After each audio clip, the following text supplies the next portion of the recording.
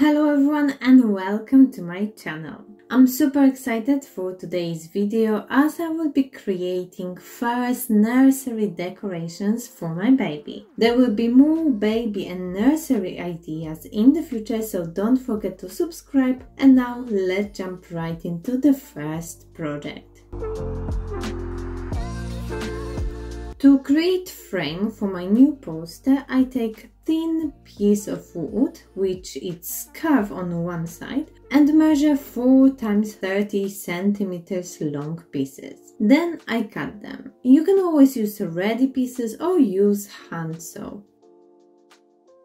Instead of paper, I will be using back side of the leather fabric. I thought it's more durable and I like the texture of it. I find clean piece which I will iron later on. My wood pieces are 30 centimeters long and I want the fabric to be slightly narrower. I mark the points, draw straight lines and cut it out.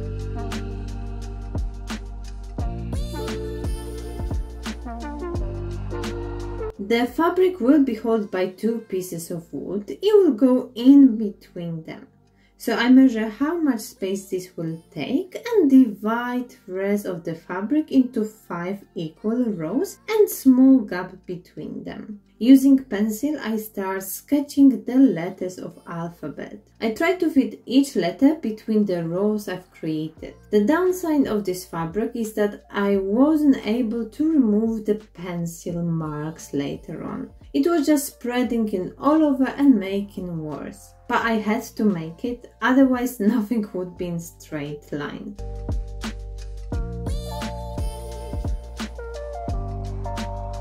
So I've divided the whole alphabet into five rows. To paint them, I will be using six different colors of acrylic paint. Some of them I mix with white paint to make slightly lighter shade. Fabric absorbs some amount of the paint, so it's much harder to paint on it than it would be on the paper. I try to keep the lines nice and straight.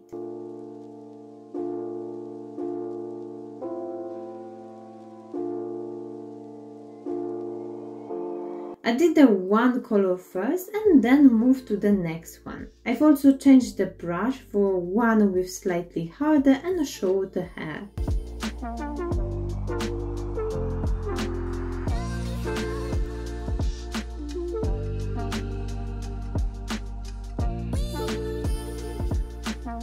Once all the letters were painted, I left them to dry. Meanwhile, I took two wooden pieces and marked where I wanted the string for holding to go.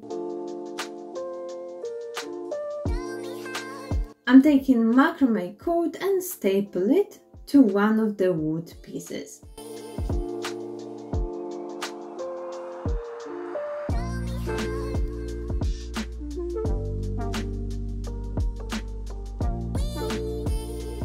I cut it shorter and unravel so it becomes flatter.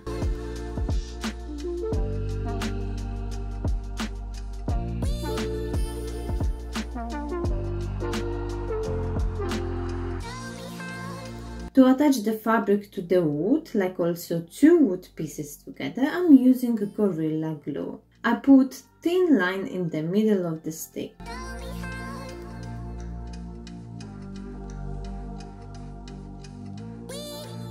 First, I place the fabric down and then cover it with another piece of wood with the glue.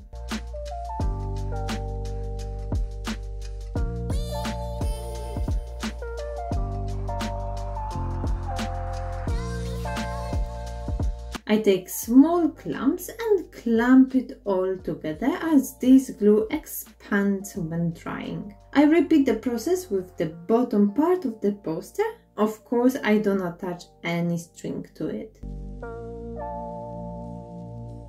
I'm not 100% happy with the result. I like the idea and the frame, but the writing could be done much better than it's now.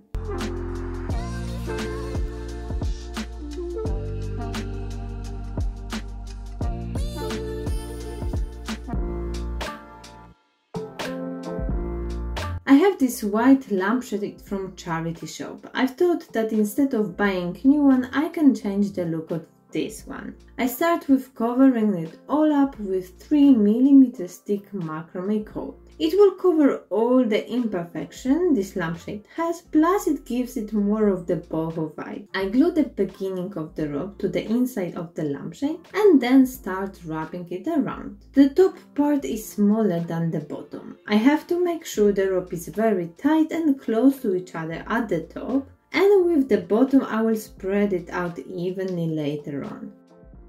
From time to time I add drop of the glue so the rope stays more secure. It will take a while to cover the whole surface and also you will need a lot of meters of this rope. And once it's all covered, I spread evenly the rope on the bottom part of the lampshade.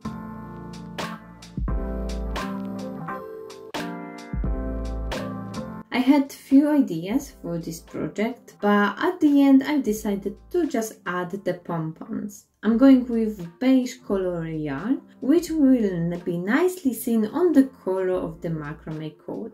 I will make two different sizes of pom-poms and to create them I will use pom-pom maker. It's just quicker and easier to do but don't worry if you don't have one you can make pom-poms without it. I've bought my makers long time ago and I've used it few times already so it wasn't pointless purchase. First half of the maker I rub very thick as I want the pom-pom to be fluffy and as I will be gluing them to the flat surface, the other half of them don't need to be so I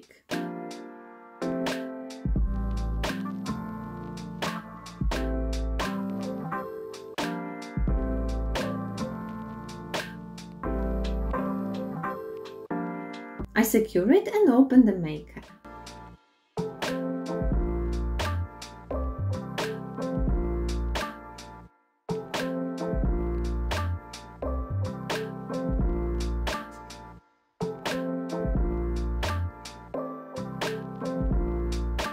I always struggle with giving the pom-pom perfect shape. I trim it all around but it's never perfect.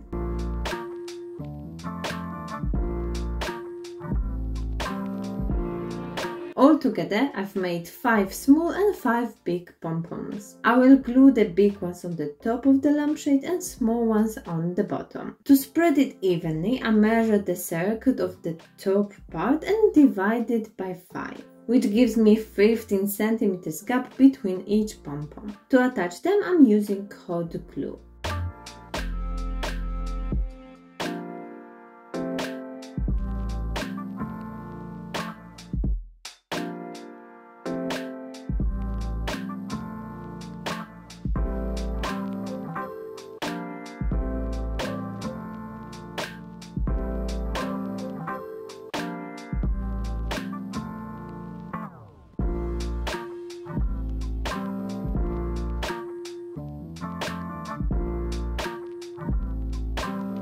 Once they are attached, I go along with my scissors and give them the final shape.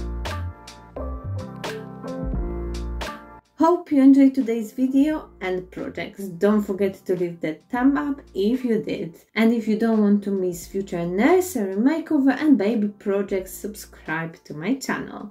Thank you so much for watching and I will see you in my next video.